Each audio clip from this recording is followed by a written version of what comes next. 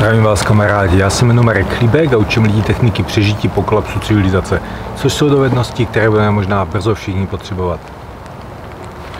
Já teďka po ránu nejsou ještě úplně moc rozmluvený a chystám se udělat si kávu a přečtu vám jeden dopis, který mi, eh, nebo jeden mailík, který mi před pár dny přišel, který tahám sebou. Ahoj Dago, děkuji ti za všechna tvoje videa, co pro nás tvoříš. Po novém roce plánuji u tebe nakoupit pár drobností na novou sezónu. Mezi nimi i švédský pohárek a sport Wildo. Všiml jsem si, že je používáš poměrně často a i mně se líbí jejich skladnost, nízká váha a celková funkčnost. Velký strach obecně mám však z tzv. mikroplastů. Jejich počet kolem nás stoupe a jejich účinek na zdraví není úplně proskoumán. Pohárek i sport jsou plastové věci. Myslíš, že představují pro zdraví člověka vážnější riziko? Dá se nějak odhadnout, kolik člověk denně může přijmout mikroplastu, aby mu to neuškodilo? A ty osobně řešíš to nějak? Předem díky za případnou odpověď. Možná by to bylo vhodné téma i do videa. Martin z Poličky. Martina, ahoj. Dočetl jsem tvůj, tvůj mailík a, a zrovna začalo pršet, to teda se mám dneska na co těšit. A když už jsem si to nachystal, když už mi prší na kameru, když už mi prší na všecko a na výstroj, tak uh, zkusím odpovědět. Ano, já používám švédský plastový pohárek i spork uh, v podstatě pokaždé, když jsem v přírodě, přesně jak, přesně jak uvádíš pro tu nízkou váhu a pro, tu, pro, ty, uh, pro ty věci, co jsi popsal. Úplně, úplně z každé plastové věci, kterou používáš, tak se třením Eh, tím, že se o něco tře, že se používá, tak se, eh, tak se ten plast opotřebovává, uvolňují se z něho eh, mikro, takzvaný mikroplasty. Myslím si, že největší velikost, aby se to dalo považovat za mikroplast, je nějaká kostička 5x5 mm, ale nám jde spíš o nějaký neviditelný mikroplasty, o nějaký úplně miniaturní záležitosti. Spíš bych to nazval nanoplasty ale budeme se držet toho názvu mikroplasty. Uh, jestli se mám věnovat konkrétně tomu sporku a konkrétně tomu pohárku, jestli mi to vadí. Já to používám celoročně, několikrát týdně, několik hodin a myslím si, že uh, a věřím tomu, že nějaký malý procento těch molekul toho plastu se z toho uvolní a já to prostě buď skonzumuju, nebo to vdechnu, nebo se mi to jinak dostane do těla. Tomu se nejde vyhnout, pokud je to plastová věc, z jakéhokoliv plastu. Některý jsou údajně méně škodlivý, některý víc, vyhnout se tomu nejde. Ale v tom srovnání, v tom celkovém srovnání, eh, kolik těch mikroplastů se dostává do lidského těla, tak je to absolutně zanedbaná, zanedbatelné množství zrovna z těchto těch dvou věcí. Když máš třeba flisové věci nebo vůbec, vůbec věci z umělé hmoty, prostě flisové věci z polyesteru, tak jenom tím, že chodíš, že se to o sebe tře, tak se neustále, neustále z toho uvolňují stovky vláken, který prostě vdechuješ, tomu se nejde vyhnout. Když to pereš, tisíce vláken při jednom praní, který jdou, e, který jdou jakoby do, vod, e, do vody s odpadem, dostávají se potom do přírody a do moří. Takže tomu se prostě nejde vyhnout. Nejvíc mikroplastu se dostane do moří, to je asi, to je asi taková hodně známá věc. A někde jsem četl docela nedávno, že když prostě jíme ryby, když jíme mořské ryby, ať už z konzerv, nebo, nebo si prostě kupujeme nějaký filé, anebo nějaký prostě ryby v jakékoliv podobě, tak z jedné té porce ze 150 gramů třeba rybího filé z ryby uvol, ulovené volně v moři, tak průměrně přijmeme mikroplastu, já už si ne, ne, nespomínám kolik těch miligramů, ale na velikost je to velikost jednoho rýžového zrnka. Takže si vem doma rýžový zrnko a podívej se, když si dáš prostě filé, když si dáš porci filé, kolik z té jedné porce dostaneš do sebe mikroplastů, které nejsou vidět. Eh, je to poměrně velké množství. To z toho pohárku a s eh, tím sporkem, to z toho neuvolníš za celý život. Za celý život, kdybys ten jeden pohárek prostě používal na kávu, tak eh, z toho to množství, pokud v tom nebudeš škrabat kovovou žičkou a nebudeš to vyloženě fakt nějak v tom hrabat jako nožem, tak z toho pohárku se v životě neuvolní tolik toho mikroplastu, jako do sebe dostaneš jako dosta, do sebe dostaneš z jedné porce file. A tím neříkám, že by se neměly jíst ryby, ryby jsou zdraví, protože jsou tam ty omega-3 mastní kyseliny a jsou to velice kvalitní bílkoviny a jíst by se měly, ale prostě ty mikroplasty, těma jsme tak obklopení a tak dostáváme jich ze všech možných, ze všech možných uh, stran, že nějaký sport a nějaký pohárek v tom už asi moc nehraje roli té samé studii, jak jsem četl o, té, o těch rybách, tak tam bylo, že průměrný člověk, průměrný západní člověk, ono to bylo vstažený na Američany, ale myslím si, že to, že to, eh,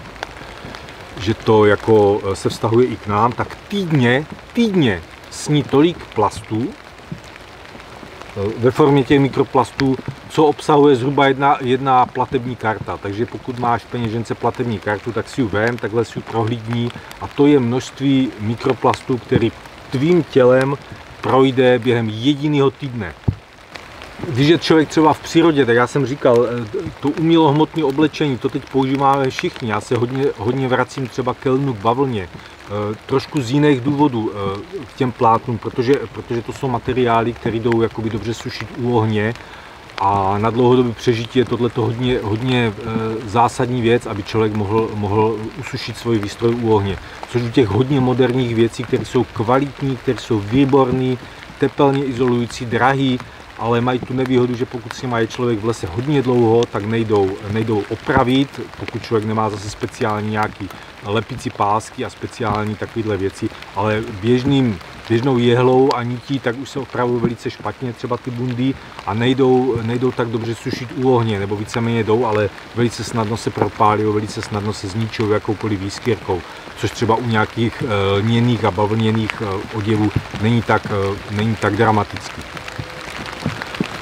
Eh, mikroplasty se hodně uvolňují, třeba pokud jsou lidi, kteří používají horolezeckou výstroj, kteří prostě hodně lezou a slaňují, slaňují po lanech, tak pokud člověk slaní po 50 metrovým laně jakoby v, jed, v jednom, v jednom eh, dní, třeba já nevím, 50krát, tak vdechne tolik těch vláken, které se uvolňují z toho lana přes, eh, přes to tření s tou slaňovací osmičkou nebo se slaňovacím kýblem nebo se slaňovacíma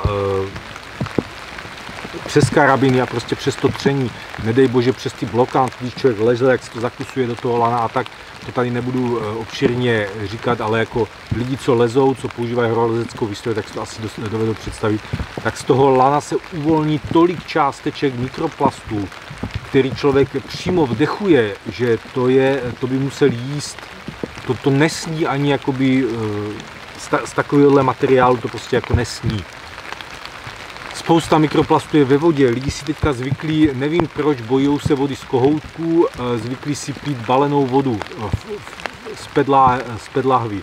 Ten proces samotný té, té výroby eh, vody v pedlahvích je tak náročný, to prochází tolika plastovými trubkama, tolika čistícíma, eh, pokud to není vyloženě jakoby výborný vrt, který se nemusí čistit. Ta plnící linka a tak, tak ta do té vody uvolní tolik mikroplastů, že tolik ani ve vodě z kohoutku, i když máte doma plastové trubky, tak tolik v té vodě z kohoutku vůbec jich jako není. Z vaření se to uvolňuje, z obalu potravin, eh, ze zpracování potravin, pokud používáte jako na jídlo zpracování potraviny, eh, ne prostě syrovin, ale jako, který už prošli nějakým průmyslovým procesem eh, předpřípravy, tak v tom je tolik těch mikroplastů, že potom už samotný nějaký pití kávy nebo nějaký zalití prostě polivky nebo jídlo z plastového ešusu, tak v tomhle tom už jako moc nezmění. Já to budu muset, já jsem to chtěl o tom mluvit jako trošku díl, ale začíná tady pršet. Mě to zase tak moc jako nevadí, ale kvůli té technice eh, tečou mi normálně kapky po kameře, to jako není, není vůbec dobré, dobrý jako vidět. Takže já to ukončím. Kamarádi, toto je můj obyčejný tuctový lidský názor na mikroplasty. Ještě se tam psal, ptali, jestli já to nějak řeším. Já ať už z pohledu léčitele, nebo z pohledu té funkční magie, nebo z pohledu prostě člověka, který se pohybuje v přírodě a má hodně blízký vztah eh, ke zdravé výživě, ale eh, k takové té přírodní, k takové té obyčejné, žádný prostě eh, kultovní věci, které se teď jako objevují, takové ty šílenství, tak já hodně věřím v samočistící schopnost lidského těla, že lidské tělo eh, v průběhu evoluce, my jsme procházeli různýma obdobíma, ať už to byly sopky, ať už to byl prostě sopečný popel v v ovzduší, ať už to byly různý, různý jedy z bylin, které jsme museli jako jíst, tak věřím tomu, že lidský tělo má obrovskou samočistící schopnost. My ji teda hodně, my teda hodně snižujeme, nebo spousta lidí to snižuje kouřením, eh, konzumací alkoholu, konzumací hodně průmyslově upravených potravin a i pokud někdo žije desítky let takže kouří, pije a jí fakt jako relativně špatné věci, tak trvá desítky let, než se mu na to vyvine nějaká nemoc. To, ta samočistící schopnost lidského těla je obrovská. A my, i když třeba máme ty mikroplasty, i třeba z těch ryb, v té studii bylo, nevím, jestli jsem to jako říkal, že snad, snad jakoby do deseti let ve váhové porci, když budete mít prostě kilogram ryby, tak 250 gramů, prostě čtvrtina z té ryby, z toho z té tkáně budou mikroplasty, které v tom jako nebudete vidět, ale čtvrtina té ryby budou plasty, bude odpad, který ta ryba vstřebala za ten svůj život a který si usadil v těch svalových vláknech, což bude docela už jako fakt zdravotní problém. A když se vrátil k té samočistící schopnosti. Věřím v obrovskou samočistící schopnost lidského těla, i když, i když ty mikroplasty vstřebáme do plíc, i když je vstřebáme potravou a dostanou, jsou tak malí, že se nám dostanou přes třeba až do krevního oběhu, tak věřím tomu, že to tělo je, umí zase odsouvat pryč zpátky do stolice a my je vymočíme, my je prostě vykálíme eh, velkou většinu těch plastů a některý se nám usadí v těle, ale neubližují nám tolik, jak si možná teďka myslíme. Eh, co hodně velkým způsobem podporuje samočistící schopnosti těla obecně proti škodlivým látkám, ať už jsou to, ať už jsou to nějaké oxidy hliníku, ať už jsou to ty mikroplasty nebo jedovaté látky ze straví, eh, těžký kovy, tak eh, když zvýšíte ve, vašem, ve vaší potravě množství vlákniny, my jíme strašně, moc strašně málo vlákniny, než naše tělo je běžně zvyklý. My bychom mohli jíst až pětkrát, až desetkrát víc vlákniny, než jako jíme teď to nemáme vůbec šanci do těla dostat, ani když jíme, ani když jíte hodně zeleniny, tak to do těla běžně nedostanete. Je dobrý, je dobrý tu vlákninu eh, přidávat jako do stravy a tím se zvýší objem té stolice, tím se zvýší i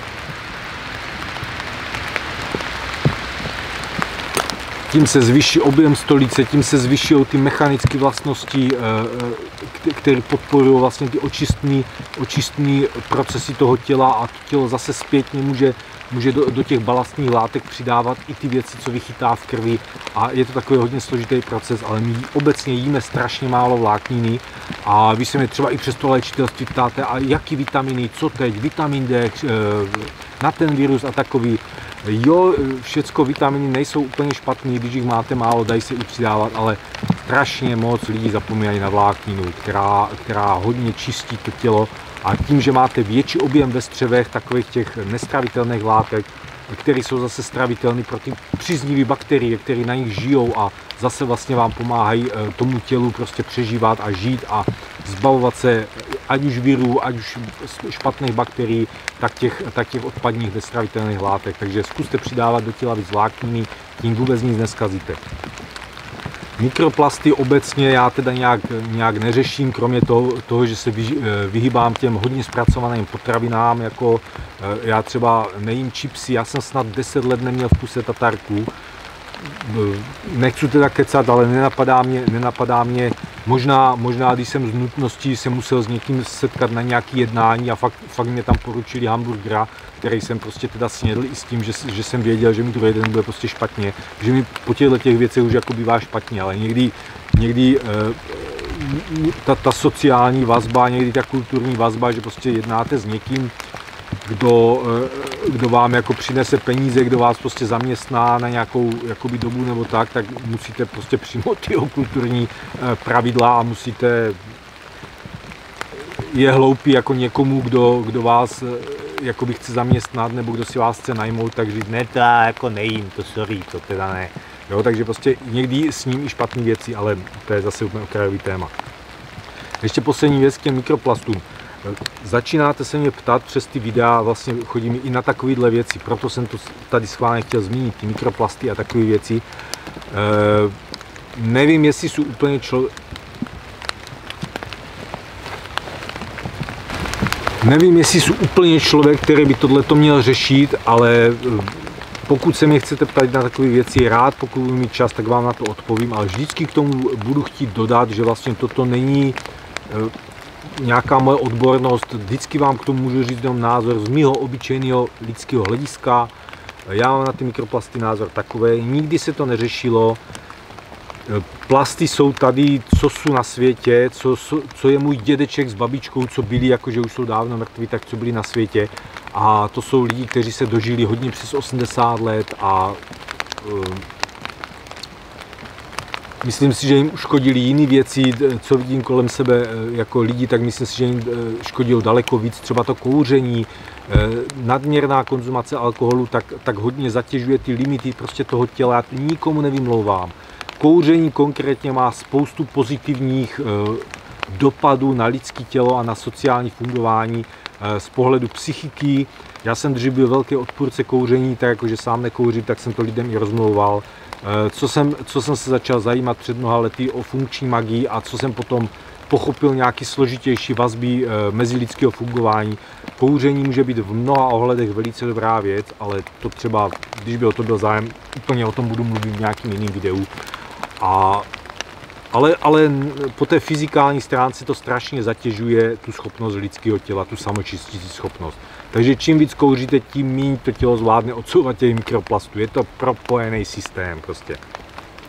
Poslední věc, co jsem chtěl říct, přicházely mi i tyhle ty otázky, já jsem to teda vysvětlil, že se k tomu budu vyjadřovat, pokud o to bude zájem, tak jedině z pozice lajka, vždycky to bude názor do diskuze. I teď vás poprosím všechny ostatní, kdo jste se na to dodívali až sem a zajímá vás tohleto téma. Klidně napište názor do komentáře, klidně se mnou nesouhlaste.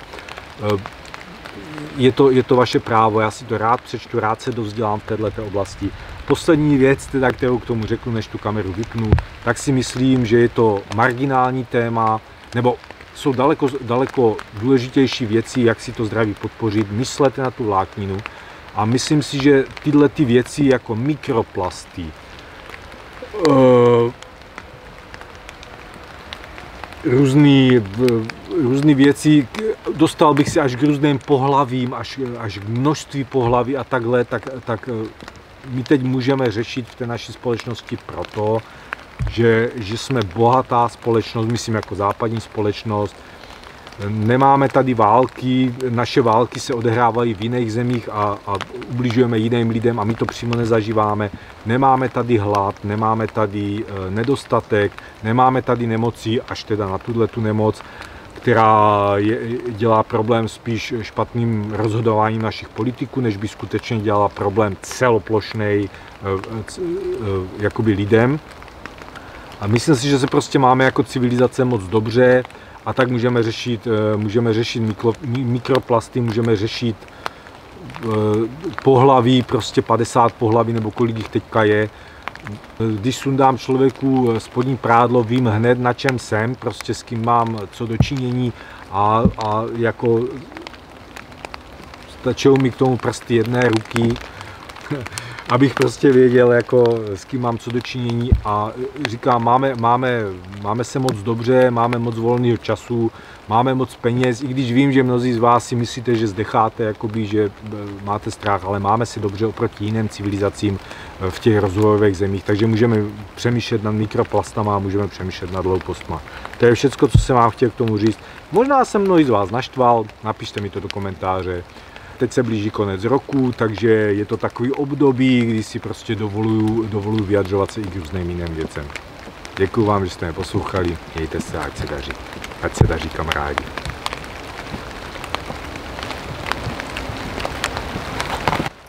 A kamarádi, budete-li mě chtít podpořit, navštivte prosím Army Shop www.vlkodlak.cz.